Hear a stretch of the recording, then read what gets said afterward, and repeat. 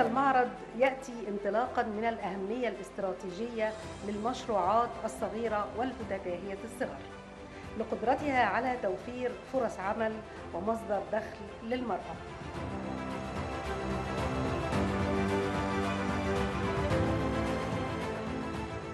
فالمرأة المصرية لها قدرة متميزة على العمل في جميع المجالات ولكن بيظهر إبداعها وتطورها في الحرف اليدوية والتراثية وهو الحال في جميع محافظات وقرى مصر.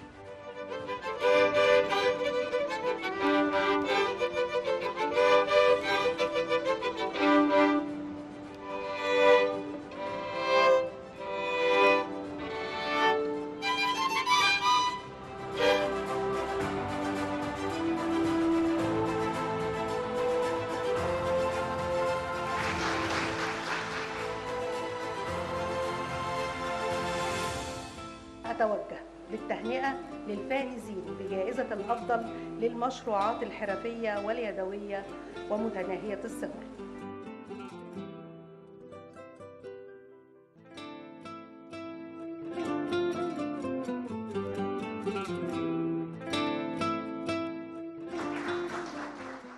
إن الحفاظ على الحرف التراثية هو حفاظ على ثقافة الأمة المصرية وهويتها وتاريخها العريق.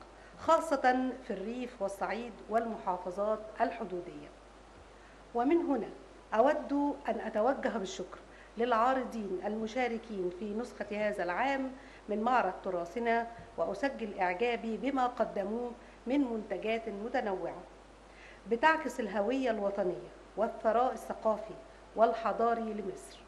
وأتطلع المزيد من النجاح والتوسع في أعمالكم خلال الدورات القادمة من المعرض.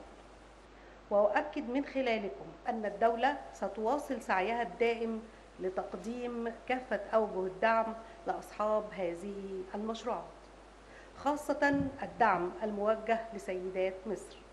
وذلك لما لهن من دور فعال في النمو الاجتماعي والاقتصادي.